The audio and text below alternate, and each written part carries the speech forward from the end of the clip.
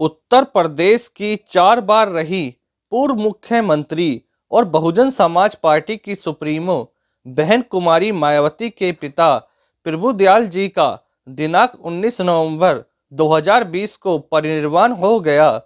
प्रभुदयाल जी पिचानवे वर्ष की उम्र के थे। उनका जन्म 28 अक्टूबर 1928 में हुआ था। जानकारी के अनुसार प्रभुदयाल जी गौतम बुद्ध नगर ज़िले के बादलपुर गाँव के निवासी थे। वह पोस्ट ऑफ़िस में सरकारी कर्मचारी थे और बच्चों की पढ़ाई लिखाई के लिए दिल्ली के इंद्रपुरी में शिफ्ट हो गए थे।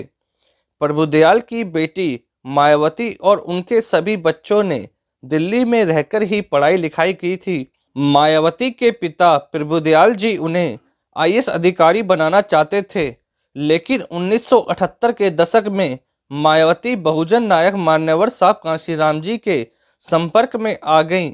उसके बाद मायावती जी ने राजनीति की राह चुनी और मुख्यमंत्री के पद तक पहुँच गई। दलित समुदाय से ताल्लुक रखने के बावजूद बसपा सुप्रीमो मायावती के पिता श्री प्रभुदयाल जी एक दूरदर्शी और सोच वाले व्यक्ति थे। वह शिक्षा और समाज सेवा को लेकर सदैव लोगों को प्रेरणा देते रहते थे। आज पूरा समाज उन्हें सत सत नमन करता है।